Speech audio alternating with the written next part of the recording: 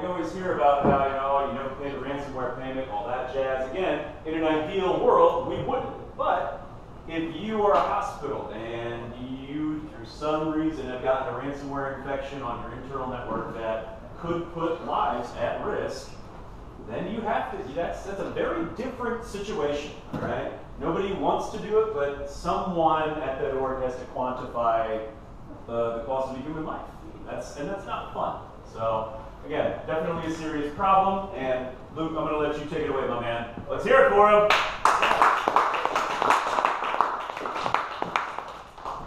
Thank you. So I had to export this from uh, Google Slides, so the images are a little pixelated.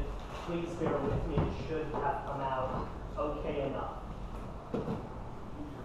The, uh, the name of the talk, Attacking Healthcare and the Life Sciences, the Offensive Past to Path Less Travel. My name is Luca. You can contact me through uh, Twitter or LinkedIn. About me, currently work at GitLab doing security compliance. Uh, previously managed healthcare for, uh, or, or, security and compliance for a healthcare company. Um, and then before that for a healthcare provider. Uh, been doing consulting and freelance work forever. Uh, spent about, my, my path to security was a little non-traditional. I spent a lot of time in the lab. Um, up until about five years ago, you know, I was minutes away from going into a PhD program to do research. Um, and so my focus was on genomics and gene editing, and so I had a lot of hands-on lab work. And so I got that, that was the inspiration for this talk. I got to see how everything worked. Um, you know, what systems are used, how are they used, and what are, what are the implications should something go wrong. Uh, grew up trying to break everything, and so I was a gamer. Uh, spent a lot of time just, you know, figuring out how, you know, how do you make an aimbot, um, and how do wall hacks work. And Diablo 2 seems lucrative if you can get a bot um, sell items online. Let's do that And Punkbuster uh, for like games like Soldier Fortune 2 never worked, and so I spent a lot of time uh, trying to uh, figure out how that all works. About this talk and, and some uh, disclaimers and, and, constraints. So I, I, I, spent a lot of time thinking about what is this talk going to be, um, and I, as I was making the slides, I identified uh, this problem uh, with a new domain in healthcare. It's the intersection of research and care that you actually provide to patients. And so I want to take this opportunity, this talk, to um, talk about some of the, the threats that maybe didn't exist 10 years ago, but that are very real today, and we'll talk more about that. Um, and then disclaimers and constraints. I've signed so many NDAs, I don't know what I can and can't talk about. I've worked in so many different environments, touching EHRs and actual providers. Uh, you know, I've worked at a serious clinical research lab. Uh, there's a lot of stuff that I just can't talk about because I have firsthand knowledge about it. Um, there will be, at times, uh, things that um, I need to, uh, you know, follow up with a good old. Um, and so you might uh, try to get the idea that way. Um, also, I'm not trying to tell anybody, uh, you know, what your threat model should or shouldn't be. That's something you do to decide. I don't know what your business needs are. You know, I don't know what equipment you do or don't have, uh, what your goals are or aren't. And so the name of this talk is intentionally the offensive path, path less travel. And so this might not and probably is not applicable today in your environment, but it might be. Uh, this is more to raise awareness of a larger issue that I see that isn't being talked about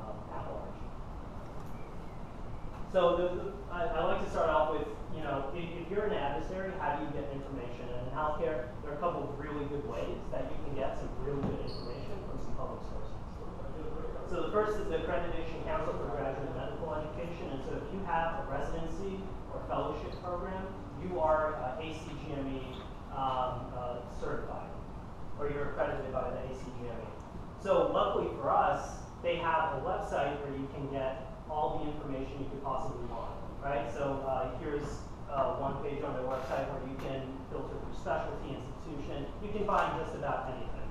And so I'm from Washington State. I come from the Seattle area. I don't want to pick on the University of Washington.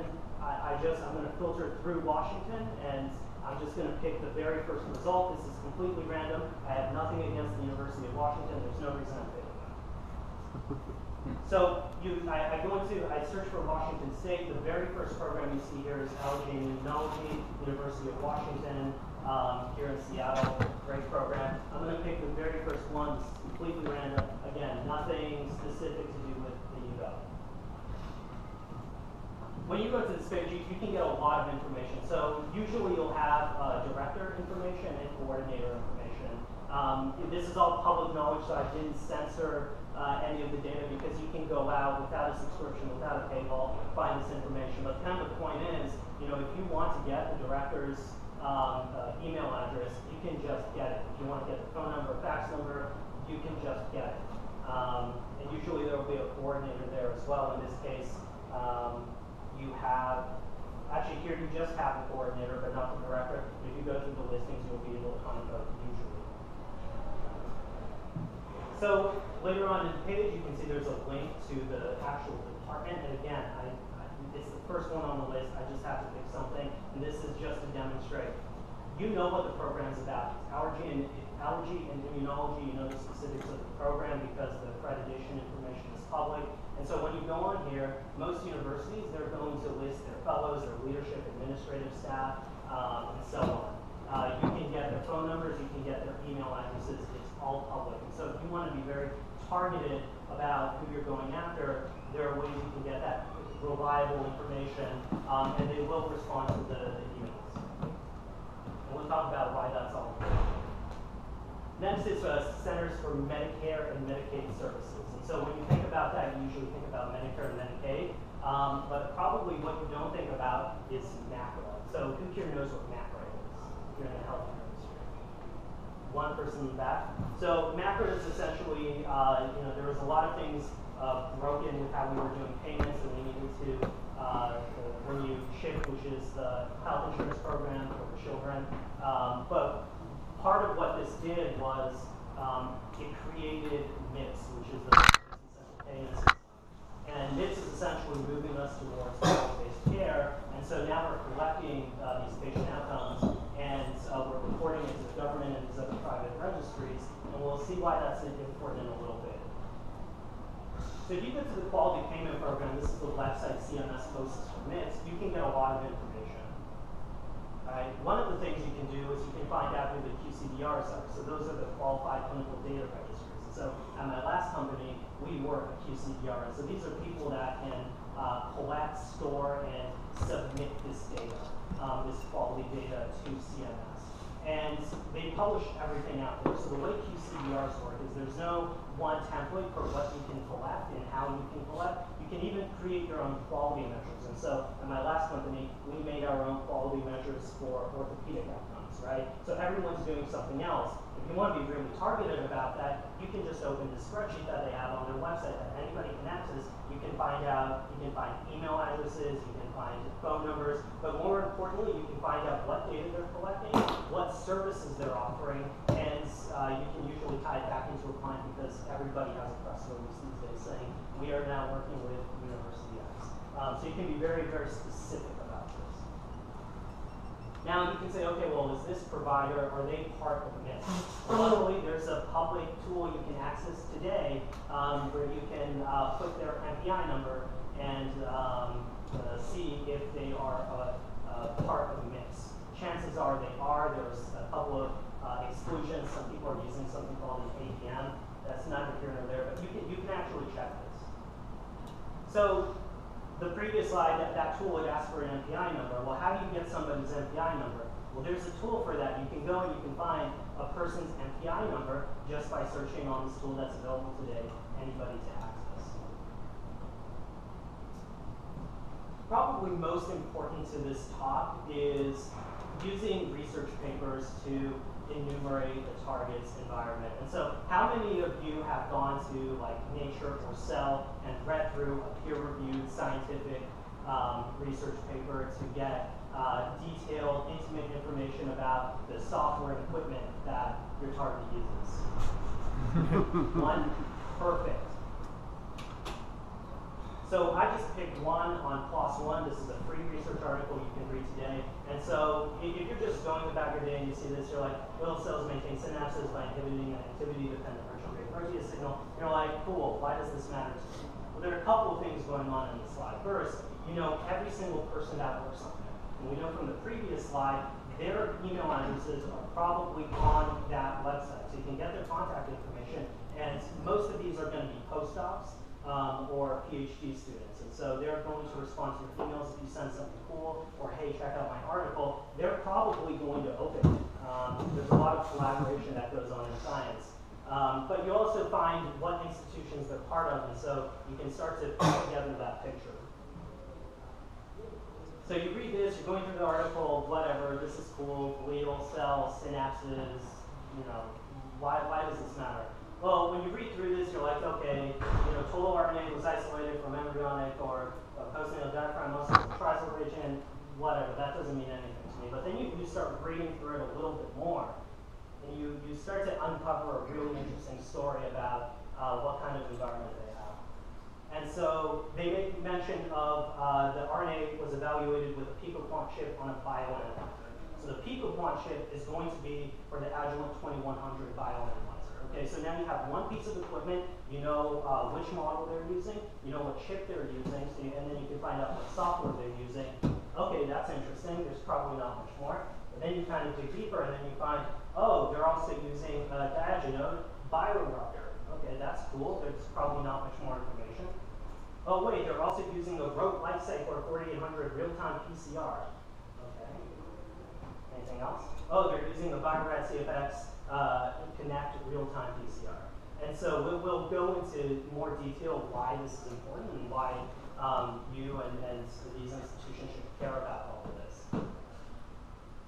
So where do you find these publications? You have somebody's name, you know what institution uh, they're, they're a part of.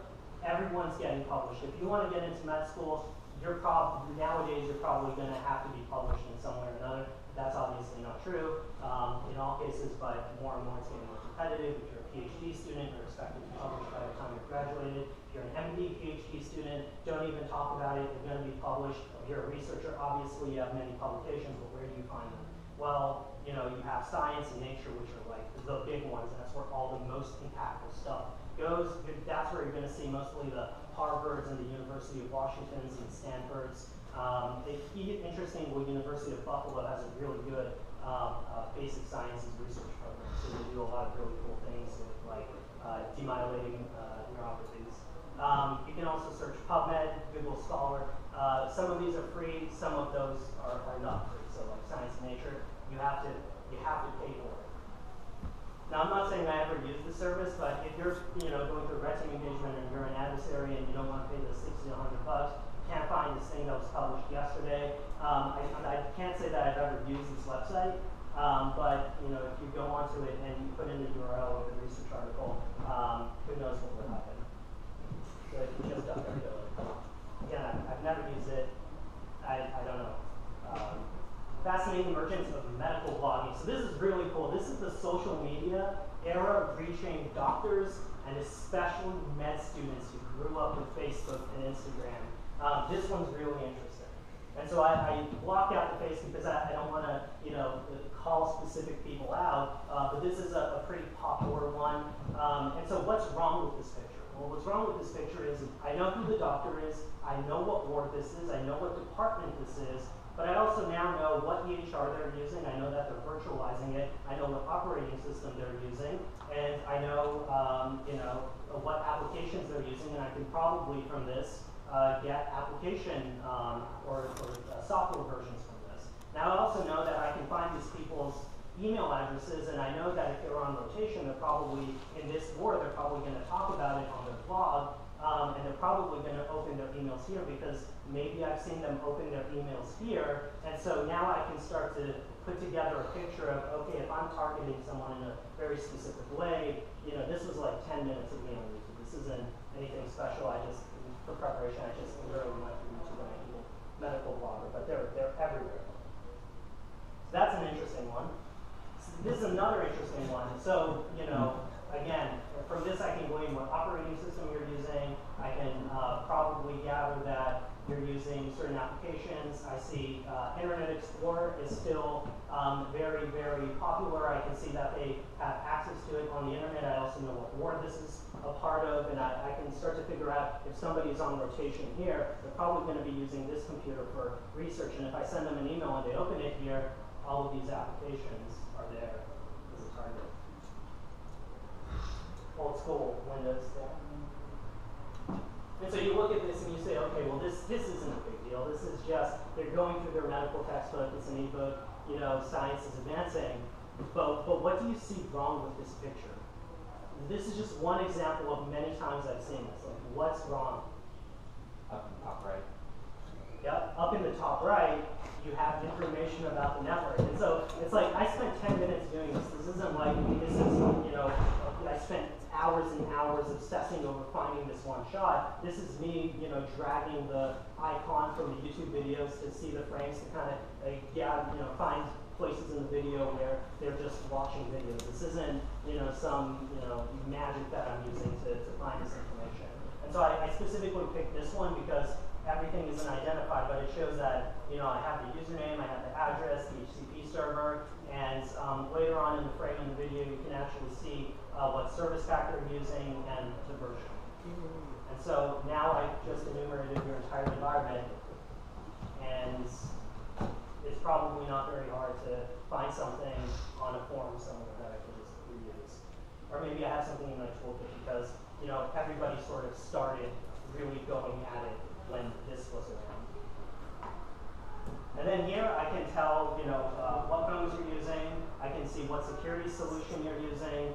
This is probably the, the least outrageous example. Um, but, you know, here I can see that they're using Imprivata. So, you know, if, if maybe I'm an Imprivata enthusiast or there's no other way in, I now know what your entire enterprise uses uh, for your protection and I can sort of figure out that you use the single sign-on. So what are the targets of interest? When we're talking about healthcare and the life sciences, what's really interesting to look at?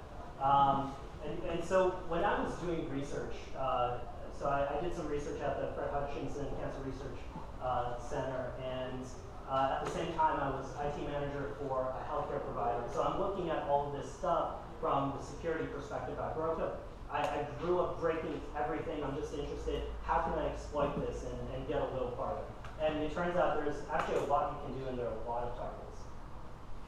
The first is patient outcomes and care quality initiatives. So my last company, I worked at a patient-reported outcomes vendor, um, and there are a lot of problems with the system, from the vendors to the places that you go to upload these massive databases of uh, uh, you know patient data and, and uh, care outcomes. But probably most concerning is like if you've had a hip replacement you're probably in one of these, and that's kind of problematic for a few reasons. So like there's AJRR. So who here has ever submitted to AJRR? Like everyone's doing it. If you think your hospital isn't doing it, they're probably doing it because you're getting money from this. Isn't a, a technical decision or security or compliance decision. This is your hospital or clinics making more money. So what are the common third-party vendors? Well, there are many of them. You can target many of them I can't talk specifically about most of these because I've worked with them in some insubstantial way. But you have eFax vendors, um, you have patient-reported outcome vendors, you have EHR integration vendors, and so it, I probably shouldn't call specific vendors by name, but you do have them. Um, you know, you have quality submission preparation firms because this is all logistically very difficult. And so right now you're probably thinking, okay, that's fine. We, will we'll get to why this is all kind of a problem. Electronic health records, I really wanted to talk about this, but I've worked really um, hands-on with EHR integrations and specific EHR vendors. I just can't talk about it. There's some really good uh, information out there on um, attacking HL7 interfaces um, to change data, to remove data. And so imagine if you're a patient and you're allergic to penicillin, uh, penicillin and you're no longer allergic to penicillin, that's obviously going to be a problem. And like, how do you detect that? Is, you know, are people really putting IDS and IPS um, in between their um, HL7 traffic stream? Probably not. Maybe some people are, but probably not. Connected equipment, and, and so this is going to be the, the uh, focus of this talk, is when we think about equipment in healthcare, we usually think about medical devices, and so there was a great talk um, about that um, glucose reader earlier today. That's usually what we think about. But if you're part of a nonprofit research center or an academic institution, there is so much more to this. And healthcare is becoming so much more than just these cardiac implants or these, um, you know, uh, devices reading vital signs. It's way beyond that at this point, and we'll, we'll see why that's important in a little bit. So you consider all the moving parts. There's so much going on. There's DNA sequencing. Think about personalized medicine, PCR machines for amplifying DNA, microarray uh, instruments, flow cytometers uh, for research. There's medical devices. Um, you have uh, like heat and cold baths for your samples. And, and the list goes on and on. There's, there's a lot going on there. So it's not just you know, your typical um, medical devices, which there's a lot of attention on, and I'm very happy about that, but the story is much more extensive than that. Big problem with a lot of this is everybody's trying to get an edge, everything's cloud connected now. You know, there's just vulnerability after vulnerability, um, not just for things that you put in your body, but also things that are used for. That's a problem. And there's also the software toolkit, and so most of these are Windows-based uh, softwares. There's no ASLR. Um, they, they just take any file that you want. I'm not saying anything, but if you were to go and you were to fuzz these with AFL, you might find something. And no antivirus is going to detect it, by the way. You know, these, these files are random in nature, right? There is no antivirus on the planet that's going to detect something that's going to get your system um, with this. So just something to think about. So let's get to the meat and potatoes of all of this. I'm talking about all this equipment, and you're like, okay, sure, we'll do whatever. Um, but, but what are the actual attacks that we can do? And so this is going to be half talking about that, the attacks, and half talking about the science, because the context here matters. How this stuff is used really, really matters a lot. So going back to um, the patient-reported outcomes in AJRR and having Davis problems beyond it, what, what's the problem with this picture? Anybody want to take a stab at it? Not secure. Yeah, there, there, there's no TLS. Like there's, there's just nothing. This is one of the largest orthopedic uh, data registries on the planet. There's no TLS. I've reported this too. And I've worked with them, I reported it's still not there. So what's the problem here? A registry login, right? It's, uh, there's, again, no TLS. If you go to the actual third-party vendor that hosts the, the database, yes, there's TLS and their security is probably pretty good, but everybody goes through it from here. Now, how hard would it be to find some bug in an outdated WordPress site with no TLS and no sub-resource integrity? I don't know, I've never tried it, but if you were to try it, you might find something. And here's another example, Marquee. So if you're from Michigan, this is the, the big um, uh, quality database in Michigan. There are many of them. And same thing, no TLS, and, and this, of course, is being reported. And then here we have your user login, um, no TLS. This is an old WordPress site. When you link to the database here, how hard would it be to um, find something wrong with this website, change the link to the database, steal the credentials, and get into all of this patient data? I don't know, it might be difficult. And this speaks to a larger problem with um, quality outcomes is all of these um, are supported by these big insurance companies. And so in the example of Marquee, right, it's part of the Blue Cross Blue Shield of, of Michigan Quality Initiative, right? And Blue Cross Blue Shield doesn't really vet these vendors for security. They don't really have standards. You sign a piece of paper and you say, okay, we're going to collaborate. There isn't really much going on there. And so here you can see Marquee's on the list. And again, this is, has all been reported. So there's no avenue actually for you to um, report these, these issues and get a serious response, which is part of the larger problem where like they already know about this and, and it's just falling on deaf ears. But I, again, I'd like to talk more about the actual patient outcomes uh, vendors, but I just, there's no way I can without piloting something that. And then here's valuepartnerships.com. Uh, is where you learn about all that information, and you go to register for all these programs. And um, again, no TLS. Um, in corporate terms, we would call that a trend. So this was a, as I was putting together this presentation, uh, this came out. Who here has read this uh, publication about uh, changing the MRI images?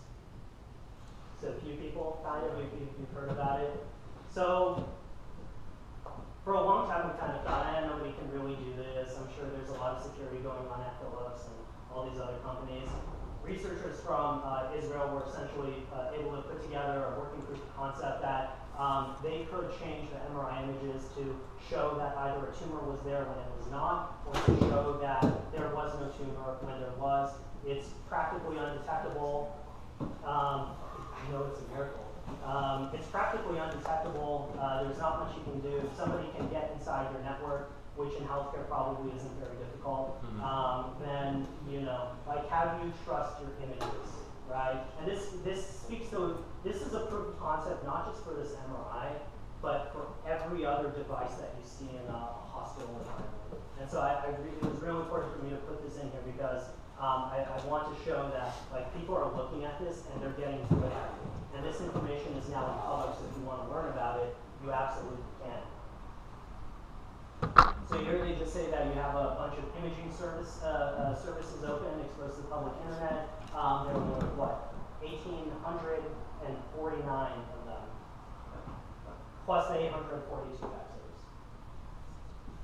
And so here's just FDA website showing that, you know, this stuff is happening to medical devices all the time. And so we know about the medical devices. The MRI machine is a little more concerning than, than things in the past, but what's really the problem here?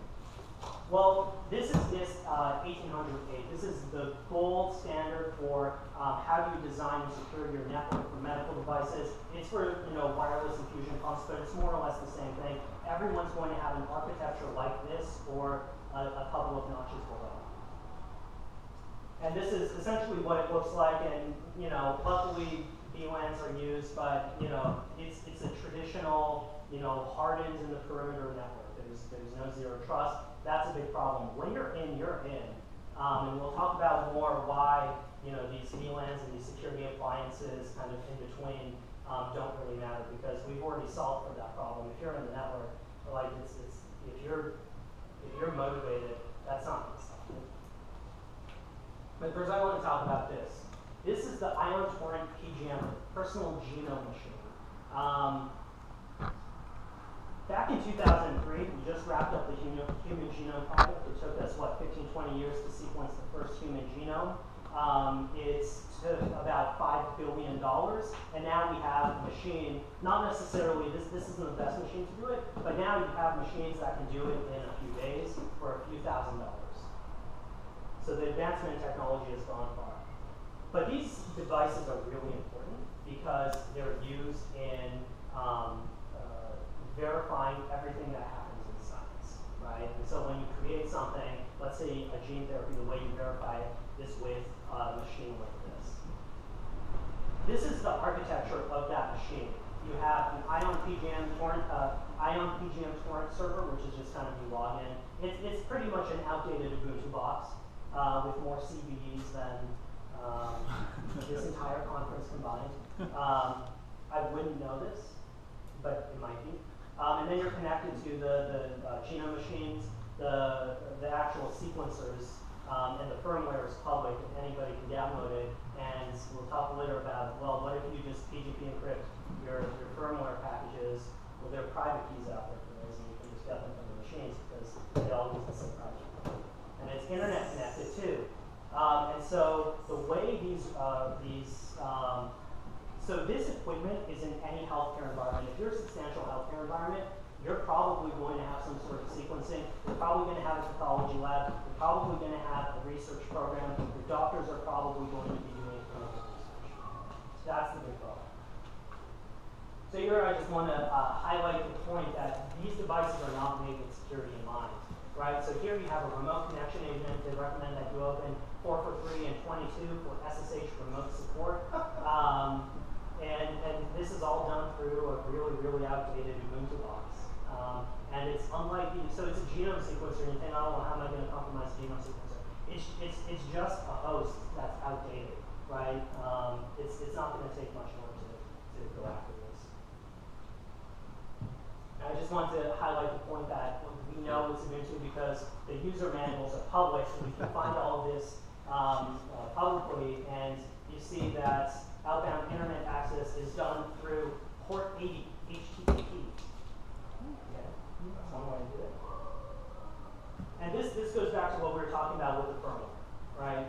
So, yes, it's encrypted, that's nice, it's gonna stop me for a little bit, but as you're going through this process, um, there's this guy with a dog in his uh, profile picture, might be me.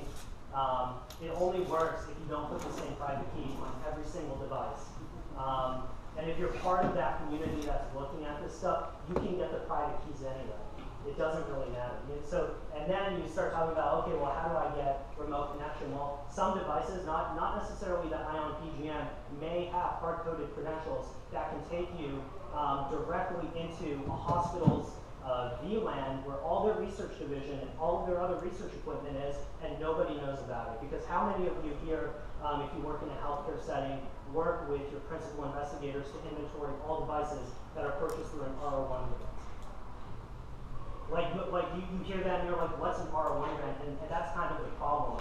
This is part of the same network infrastructure that's going to your MRI machines and your CAT scans and the you know tools you're using to you know measure uh, vitals. It, it's all going through the same place. We saw what that network architecture looks like. That's the best practice. A big problem is that cloud enablement. So a lot of this stuff is going onto the cloud for one reason or another. There's also a mobile app earlier in this conference. Uh, if you went to that um, uh, talk about the glucose meter, there was also an app, and through some certificate pinning magic and a little bit of basic offensive security, you were able to gain full access to that app. And so this right here is a thermocycler. Um, this is what you use to sort of unwind the DNA, open it up. It's part of every standard research workflow. And this here is just a basic Sanger sequencer. It's also cloud connected. This is what you use to sequence your DNA. Um, it, it's also cloud connected. You can control it through the cloud connected app. It all goes through the same place. You can self-host. Nobody does that. Everybody uses the SaaS offering. But what's the problem with this cloud-hosted, um, you know, application for these sequencers that are handling uh, clinically, uh, you know, these mission-critical, mission-critical clinical workloads? I don't know. I don't know. Like this is a tough one to say. I can't really spot what's wrong, but if you were a security professional, you might be able to solve this puzzle. I'll leave that up to you. And I, I just removed it because I don't want to do that. I've reported this. It's, it's So easy to hide that server version. exactly, exactly. Um, It's on a single EC2 instance. No load balancer, no security appliance, no WAF, nothing. Just the EC2? a single EC2 instance. So this is a, an NMR machine. Um, well, this one isn't actually an NMR machine. No, it's not. This actually, this is a mass spectrometer that uh, looks at proteins, and this is important again in every clinical workflow. And it's the same thing. It's run with um, it, it, everything's essentially Ubuntu renamed to OS 14, or whatever, right? Um, and they're all outdated. Um, and I, I have a suspicion, I cannot confirm this, that none of them use something like GeoSet, which would which would be great, but they don't really. And so here's another problem with this device. Okay, that's one way to do it. Um, web-based remote support. Antivirus and endpoint protection is probably one of uh, my, my favorite things to talk about because it's so prevalent in healthcare. Now, I'll just preface this by saying I, I'm not as intense about this as some of the researchers out there on antivirus, but I do remember uh, writing my first little bit of code uh, to completely take down an infrastructure uh, through denial of service by just sending a file to a mail server. It's a big problem. So this is uh, Alisa Shevchenko. She's a security researcher, um, and she, she made a really good thread about um, antiviruses. So she says, one thing I like about attacking antivirus software is that it architecturally includes every conceivable, conceivable attack vector, uh, format parsing, a system, COM OLE, ActiveX, browser extensions, uh, kernel modules with ioctl, um, and in this industry, dynamic-based flag pretty much doesn't exist um, because of performance issues. And so uh, this is well documented in the antivirus hackers handbook. I strongly recommend that read. Um, so it is what it is. Um, then in the middle, will be updates, Symlink issues, uh, zero, uh, ring zero JavaScript interpreter, emulators, DLL sideloading, third-party software, web, web interfaces to some fancy open source database. And so if you've ever deployed one of these things, you, you know what that's talking about. Dozens of open ports. ESET has about 20 if you use um, their, uh, their web-based thing. Most of them are open to the public because it needs to communicate somehow.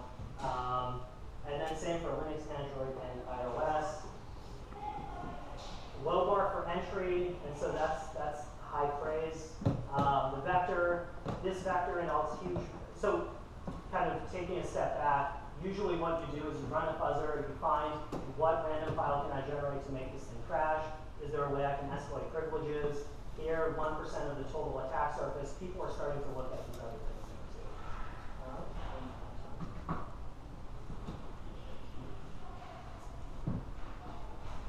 She says she did her first antivirus project probably around the same time when she was a malware analyst. She repeats it a few once in a few years uh, just to refresh her reverse engineering skills. And so the security for antiviruses isn't isn't really intense. Like there's a lot going there. It's getting better. Microsoft is doing some cool stuff with Windows Defender. Um, you know, ASLR is going to eventually be enabled on every single module that's loaded, um, and they're sandboxing. Half of the vendors out there still do not sandbox anything. Um, and most antiviruses reuse some other company's engine, right? So what might be Bob's accounting antivirus might actually be using the defender's uh, antivirus engine. So they, lease those things out just like uh, T-Mobile leases out their lines. So this is, you, know, you might be thinking, okay, why are we talking about antiviruses? Well, the problem is antiviruses are everywhere, right? They're everywhere in healthcare. We'll talk about why that is. And so, has anybody really looked at this? Have antiviruses being exploited in any meaningful way? And the answer is yes. And so, Tavis Ormandy is very outspoken about antiviruses. I love his threads um, about antiviruses and, and uh, how much of a disaster they can be if done wrong. This was one of uh, the first great papers, in my opinion, about antivirus exploitation because it highlighted so many different uh, problems. The chaos and motivated attacker could cause to these systems, namely something that has Sophos installed, um, is a realistic global threat. This is a Project Zero researcher who, you know, kind of churns out these papers all the time. Um, Sophos products should only ever be considered for low-value, non-critical systems and never deployed on networks or environments where complete compromise of adversaries would be inconvenient. And so the problem is in healthcare, this is everywhere. And we'll, we'll actually see a diagram how prevalent this is. This is a real problem. This isn't just, you know, some people are kind of looking at it, it's a hardened target, only nation states are doing like, like people are doing this as hobbyist researchers. They're um, getting system access by, uh, you know, having people load a web page. This isn't an insignificant problem. And if you're in a healthcare network that has antivirus installed on every single endpoint and every end user is protected by an antivirus, you know, you can obviously use this to your advantage. So here are the considerations um, uh, or the recommendations that uh, Tavis in, this paper about Sophos. And I think this was back in 2012, um, so it's since changed, but I just want to demonstrate the point that this is an ongoing problem and it started long ago. This isn't something new that people are just now talking about. It says exclude Sophos products in consideration for high value networks and so if you have an antivirus, let's say it, it can be anti-antivirus, I don't want to pick on Sophos or any other vendor, but if that's what's protecting your MRI machine, or if that's what's protecting you from people getting to your MRI machine or your genome sequencers, then like that's a problem. That's a really big problem. When you have a security researcher uh, making a recommendation like this, this is a strong recommendation, and it should indicate to everyone that there's a larger problem at play. And so if I'm going, you know, if I'm ever doing an assessment into a healthcare network, one of the things I go for first is an antivirus. Yeah, if you're a patient-reported outcomes vendor, I hope nobody goes after me for violating the NDA. Um, you know, we have something called capture rate. Why is capture rate important? Because you need a high percentage of patients who get the survey to fill it out so you can get financial reimbursement. Now, well, how do most vendors do this? Well, they do it through email because it's most convenient. That's the only way you can get a really high capture What's the problem with having email um, if you're a healthcare provider? You probably need an antivirus at your mail gateway. That's a problem, right? Um, and so I've seen this uh, this sort of attack in production before in my own environments where people will um, ship files to um, you know a mail server hoping that it's all just one big EC2 instance, which oftentimes it, it is, um, and they can just exploit privileges like that. Never deploy Sophos products to devices that cannot be updated easily. Healthcare, this is a huge problem. Um, the average time to update is, is very, very long in healthcare and even the life sciences. And he says it took them several months to fix it, which they did so by changing ACLs on the directory. And so this is not unusual for antivirus vendors. It takes a long time for these updates to go. And so you know, by the time that update is released, maybe a healthcare organization is already through a different update window, and so then they have to delay it even more. It can take a year plus for you to make any sort of significant um, action on this. And that's a problem. This is his ESET paper. Um, and and I'm, I'm using Tavis's work as an example because it's high profile, there's a lot of legitimacy there, and there's a proof of concept code out there. But there are many other examples. There's um, one uh, teenager who had a blog who was going after Bitdefender's engine. And so you have like, um, with Bitdefender specifically, you have the integer overflow that was reported by the Zero Day Initiative. That was really bad. There was a blog talking about um, engine exploits in Bitdefender back in 2017. Plus, this, uh, this person uh, provided ASLR bypasses, and so if you thought that was a great mitigation, that was also a problem. Um, but this is the, the ESET paper, and so essentially what he does uh, is he loads a web page, and everything just explodes. Right? So, so this is a problem, and you can see the proof of concept code, you can run this for yourself. This is all real stuff, and exploits happen all the time. So he says in this paper that ESET can be completely compromised uh, a complete compromise would allow reading, modifying, or deleting any files on the system regardless of access rights, right? And so when you're talking about running an attack like the MRI, you know, they have a lot going on there. They are making a lot of noise in the system. You need a lot of permission and privileges to do that. And so how do you get to that point, right? You can obviously phish, but you know, when you get that, you know, close to the core, it's going to be probably a little more hardened. Um, and so antivirus is a great way to do that. That's how I would do it. There would be zero indication of compromise as disk I.O. is a normal part of the operating operation of the system. There is zero user interaction required. So these aren't some dystopian risks that you know may or may not be happening. Like this is research that has been published for years now, and we know this is a problem in health and life sciences. And so this also from NIST uh, 1808. Um, this is essentially the best advice that you get for protecting these mission critical uh, clinical workloads. Like this, this, this is it. You have a standard perimeter network and then you have endpoint protection. And so you might be thinking, okay, well, we mentioned ESET, Bitdefender, Sophos, you know, Symantec is on point. But thanks to some guy named Dallas on LinkedIn who shared this post, just as I was making this, uh, this presentation, oh look, it looks like somebody just figured it out. They have uh, an exploit for um, that they're going to push proof of concept code out, uh, and it took, what is it, 140 days uh, for them to fix it. Like, this is a real problem. You know, if you're in here, this isn't just, this isn't rare stuff that you have to look really hard to get. This isn't something that you have to work really hard to make a, you know, working exploit. This is you running a fuzzer, knowing some basic exploit development, knowing that ASLR isn't a problem because your target's running Windows XP, and these protection um, softwares uh, don't use ASLR anyway most of the time. I mean, this is real stuff that's happening right now. And so why is antivirus such a big part of this talk? And we're gonna all, we're gonna tie all this in and talk about um, more of the, the specifics of the attacks you can do. It's this thing. How many of you recognize this if you work in healthcare? Protection from malicious software. Procedures for guarding against detecting and reporting malicious software. Your compliance team is going to tell you this is an antivirus. You need an antivirus, some sort of endpoint protection. It is what it is. It's just everywhere. Um, and HIPAA is, uh, you know, it's a federal regulation. You can't say no. Your compliance team will be very conservative.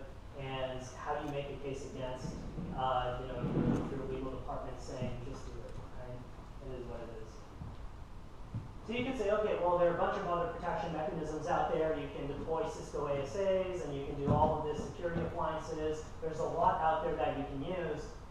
Well, here's CVs from uh, 2018. How many of you remember the, the whole Cisco debacle with being able to, um, yeah? So there, there are a few of you here, right? And so you could say, well, we have all these things, and we have, you know, SSL VPN, and that's protecting access.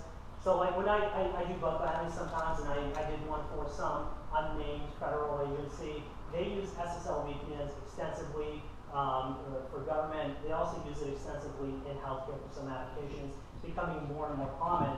And so you can say, okay, how can I get around this? Well, people are getting around it all the time. This is just one example of this happening. Right? This isn't some one-off outlier. Like people are looking at these systems, they're realizing that the actual code that's running this stuff is, is really old and it's written with performance in mind, and um, it's written by people who don't have a security background and don't have any mandate to make it secure, right? And so C and C++, known for its spectacular uh, memory safeness, uh, is used in almost all of these products.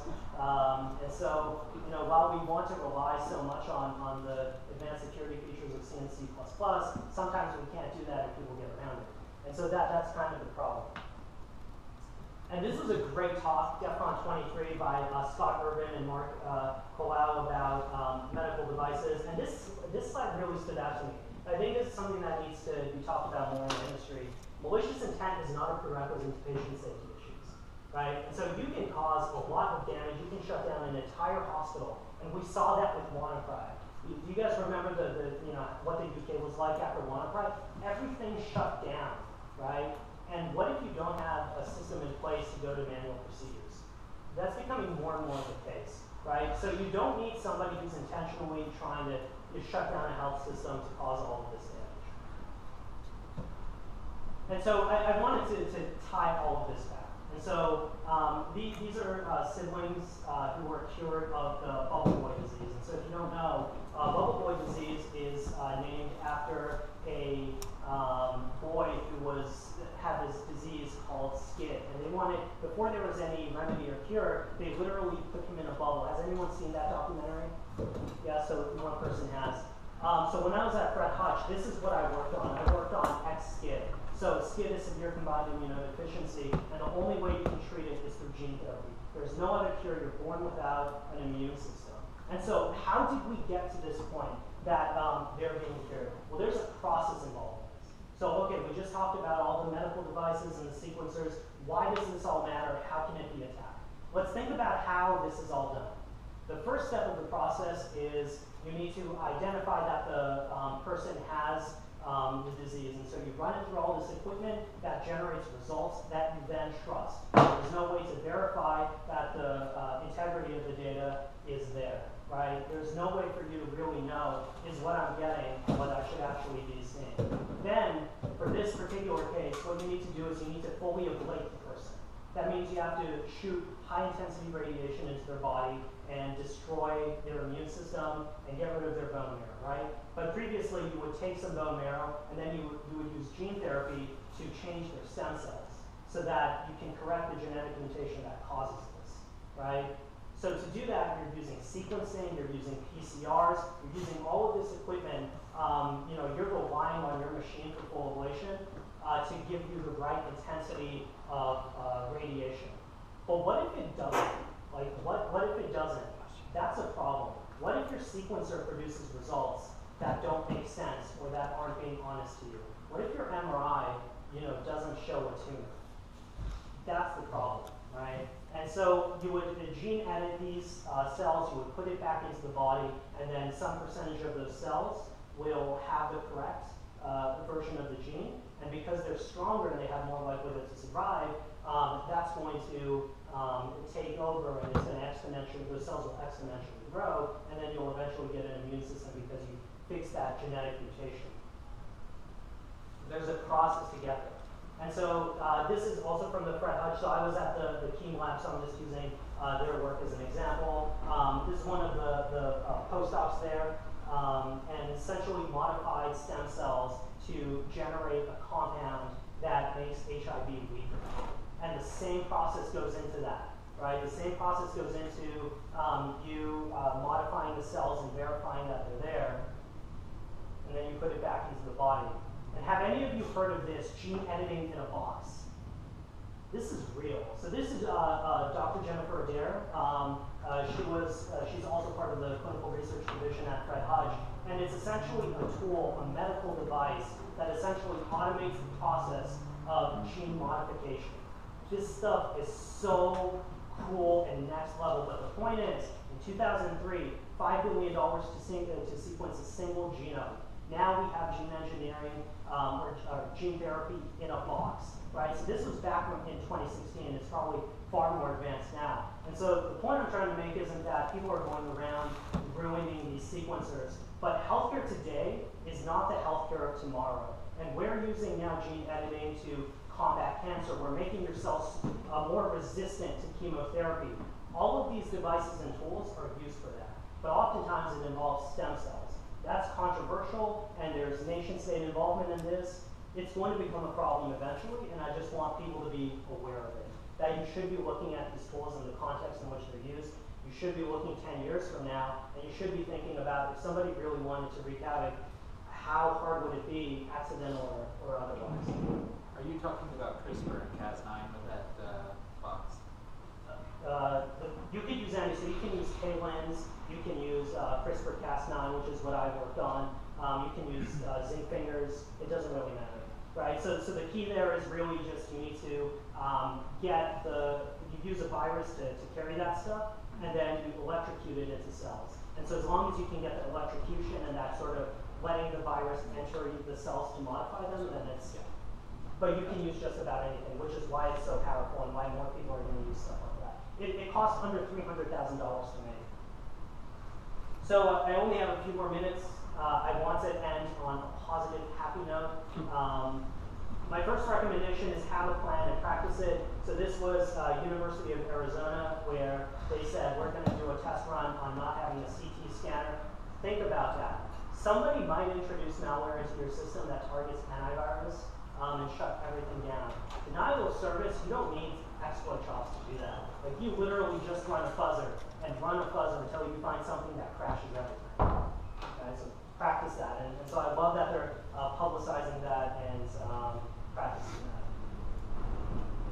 My second recommendation is if you're having trouble getting people to understand what the problem is uh, or to make you know um, systemic change within the organization, speak their language. And so in Red Team often you know, the status quo is you're trying to achieve an objective and you do it the easiest way possible if you're having, if you're an internal red team and you're having trouble getting people to listen, if you tell an executive that the patient reported outcomes uh, platform was owned or that you uh, have proof of concept that you could shut down an entire clinical ward or modify um, a genome sequence that a researcher is working on, like think if an institution found out um, you know, their devices were compromised a year prior, and now they have no way to tell whether or not the work they've been doing for the past year is legit or not. Like you don't know, it's all just like Ubuntu 14 and just processing the stuff, and you can put USBs in it, and it, it, puts data on your USB, and you can take data, you know, put data onto the machine. Like who knows what's going on there? Like that can ruin your brand. So, so be creative about that process. Third recommendation is Devices are devices, metaphor. Otherwise, inventory them, understand how they're used, and threat model them based off of current research. If you're not thinking about how antivirus can be, antiviruses can be used as, um, a, a, a, as an attack vector, people are already doing this. And so the people I've spoken to in, in the incident response field, nobody will give me specifics because they've signed NDAs that will just blow your head off. Um, but I, have gotten multiple confirmations that this is happening in large uh, academic research centers uh, in particular. And so antiviruses are a target, and so not just antiviruses, but threat model based off of current research, know what's going on and use that in the threat model. And so you can say, okay, well, it's easy to say understand and inventory it. Find a partner in your organization that does research. The main source of funding in these uh, institutions, whether it's a big hospital or academic center, are R01 grants. So look that up. Find out for every lab who's who's managing this because a lab manager is buying this equipment and putting it on your network, and nobody knows if it's cloud connected or not. Fifth recommendation is we need SSO for healthcare, like really bad. If you're if you're a vendor, if you know someone who's a vendor, you're going to make a fortune doing this. But not just, uh, or sorry, not SSO, but zero trust. If you're just doing SSO, that's great, but we need like hardcore zero trust. The whole thing, not just a couple of parts of it, but like the entire thing needs to be reworked eventually in the next decade or two for zero trust. The sixth recommendation, if you're a vendor, uh, the reason antivirus is everywhere and, and there's a lot of additional risk you don't really need when it, you maybe you have a good alternative is it's, it's uh, complicated. So if you're a vendor, find solutions that incorporate security into compliance and make compliance easier. Seventh recommendation is ask yourself basic questions like, how do I know that our MRI is giving us good results? And if you don't have a good answer for that, be honest about that and use that for your advantage. Don't use the reasoning of, okay, well, nobody's going to target this, so it's, it's no big deal. Um, just be honest about it and use that to your advantage. The eighth recommendation, and I talked about this uh, earlier, healthcare today is different than what it's going to be like 10 years from now. This integration of life sciences and healthcare, um, medical devices that we think like cardiac implants, that's one piece of the puzzle. Nobody's looking at the security of these devices. They're connected to your core networks. You can get from a VLAN on clinical research up until, you know, up to your core network. You can get the remote access tools. Like this stuff is not complicated. Anybody can do it if they put some time into it. And so start start thinking about how that's all playing out and what devices you're putting into your network. Um, and with that, the, the talk was a, a, little bit more rushed than um, I thought it would be. Um, and so uh, that's it. Thank you so much uh, for giving me the platform to talk about this stuff. Uh, any questions? I, I don't have a question, just a general comment for the audience here is that these medical devices uh, require FDA approval before they can be marketed, which is very time consuming and costly. And it also requires them not make any changes to the device at all after that approval is done until the next approval comes, which could be years down the line. Actually, not Actually- true. That's, there you go, thank you. Not true at all. Uh, 510K certification changed years ago to where they actually have to be doing kind of a best effort is what it amounts to, to where the FDA says you do not, for security purposes, you do not have to go back through the recertification process. Okay, okay, that's good to know because what I was getting at is if there's a vulnerability in some of these machines, it's probably still there years later. I, I, I've helped enact change at large uh, two-letter healthcare companies um, that using that exact methodology and going through uh, U.S. cert and having them get involved. So one, one thing I would add is that there's still the certain medical device manufacturers are not good at working with researchers. So if you get into this line of work, be very focused on helping them. Do not be adversarial because that's going to backfire. Um, and if you don't get good results, report it to the FDA. So that's what happened with St. Jude's with their cardiac implants is they weren't able to verify the vulnerability. Um, and so they told the researchers, hey, there's nothing there. Researchers went to FDA. FDA uh, investigated, they confirmed the vulnerabilities, and then St. Jude's issued a firmware update. Um, and so, like, there, there's an avenue, but it's still, it's, it's a lot less mature than in other, other industries. That brings up one of the uh, medical doctors that I've worked with that talks a lot about the vulnerabilities in medical devices, brings up very good points. So I'm going to throw it out to you and see how you answer it. I have my own answers. But he is, and he's on the hacker side. Uh, you probably are, know who he is, and I can't remember his name off the top of my head at the moment. But he has said that with medical devices, and as vulnerable as they are, particularly the St. Jude's heart uh, pacemaker, there is a certain number of reinfections that occur and people get hurt possibly die when they have to get that firmware updated on their pacemaker. So that's a known element. They know that that's going to happen to a, certain amount of people. They're going to die. They're going to be infected. But there is a, not a known number of people that have had problems with these devices being compromised. So how how do you answer that question of how do we quantify this unknown security risk that may kill you versus this known you're actually going to get an infection. We know a certain number of people are actually going to get infections and a certain number of people are going to die to upgrade this firmware to protect against this unknown security risk. Yeah, so within healthcare and the life sciences in particular, this is a problem that has to be fixed over the course of 10, 20 years. There is no short-term fix. You can't tell somebody, well, we're going to disregard all clinical recommendations for the sake of this unknown um, security risk where somebody may or may not die when you know somebody will. And so this is this is a, a risk management question. Um, I, I think more holistically, um, there's nothing, practically speaking, that we can do in the short term to address that because these things are already in patients and they're going to stay in patients for a long time.